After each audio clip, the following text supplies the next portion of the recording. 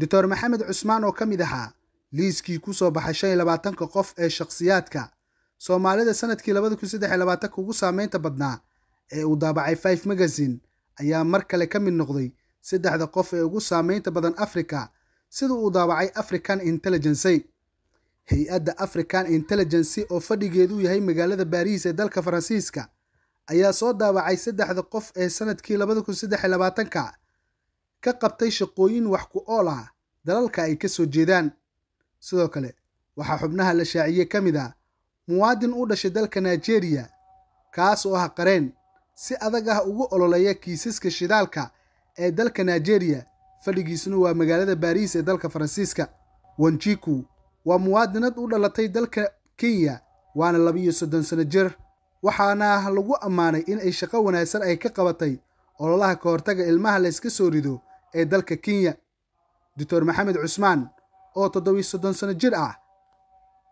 Waxa uu ka mid yahay xubnaha golaha dhaqaalaha qaranka. Waxa uu xubin muhiim ah ka ahaa guddigii soomaaliya u qaabilsanaa wadaxaajoodka soomaaliya in ay ku biirto bulshooyinka bariga afrika.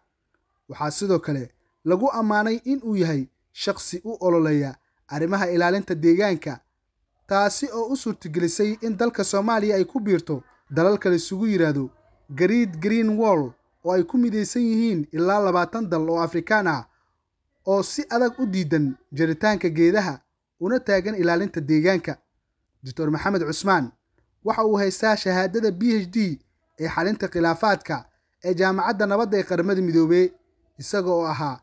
furitaanka xafiiska jaamacadda nabadda ee soomaaliya iyo in uu noqdo wakiilka jaamacadda ee bariga afrika iyo bariga dhexe waxa uu shahaadada digriiga ee cilmiga dhaqaalaha ka qaatay jaamacadda muqdisho wuxuu qaatay laba master oo kale ah dhaqaalaha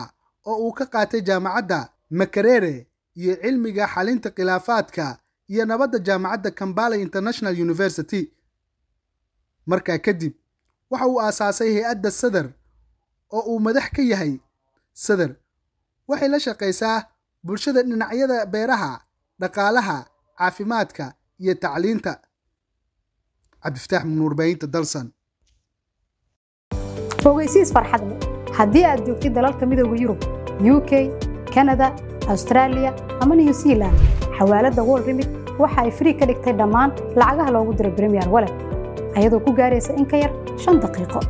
Ka faa'iidaysa fursaddan oo lacagaha ugu dir ehelkaaga iyo dadka aad jeceshahay bremiyer walet